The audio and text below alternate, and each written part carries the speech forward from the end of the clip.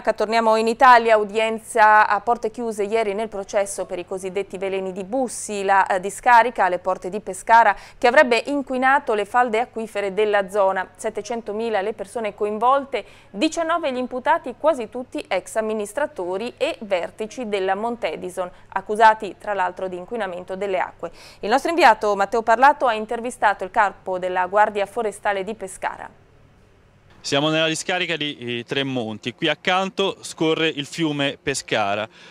Eh, il comandante del Corpo Forestale dello Stato, voi avete sequestrato questa discarica, approssimativamente quanto materiale c'è sotto i nostri piedi?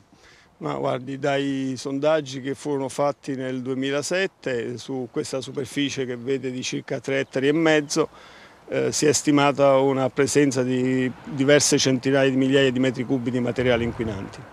Sotto i nostri piedi oltre alla discarica c'è anche una falda e lì scorre il Pescara. Cosa si sta facendo per evitare che la discarica contamini il fiume?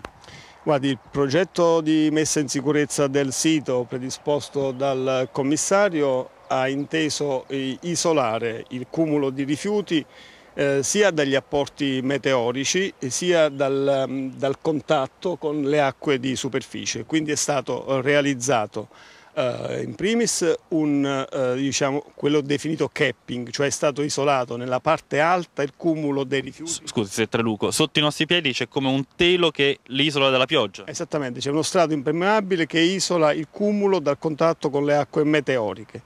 Eh, di fatto poi il contatto con le acque di falda, quindi l'apporto, lo scambio orizzontale è stato dire, limitato e viene oggi messo in sicurezza dalla realizzazione di questo diaframma in palancole metalliche che vedete infisse fino a, ad attestarsi sullo strato impermeabile che c'è sul sottosuolo la falda idrica, cioè la falda idrica che viene da monte, quindi dalla Valle Peligna, e la falda idrica che viene dal Tirino.